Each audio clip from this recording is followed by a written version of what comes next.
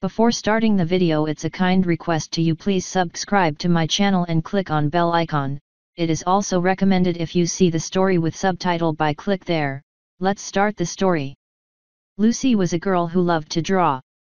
She would spend hours with her sketchbook, filling it with drawings of people, animals, and landscapes.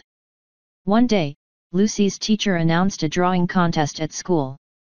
The winner would get their drawing featured on the cover of the school yearbook. Lucy was thrilled.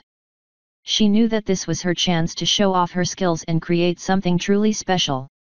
She spent weeks working on her drawing, pouring all of her creativity and passion into it. She carefully shaded each line and added intricate details to every corner of the page. Finally, the day of the contest arrived. Lucy nervously submitted her drawing, hoping that it would be good enough to win. Days went by, and Lucy anxiously waited for the results of the contest. She couldn't stop thinking about her drawing and whether it was good enough. Finally, the day arrived when the winner was announced. Lucy's heart was pounding as her teacher read out the name of the winner. And then she heard it, her own name. Lucy had won the drawing contest. Tears of joy streamed down her face as she ran up to the stage to receive her prize. She had worked so hard on her drawing, and it had paid off in the most amazing way.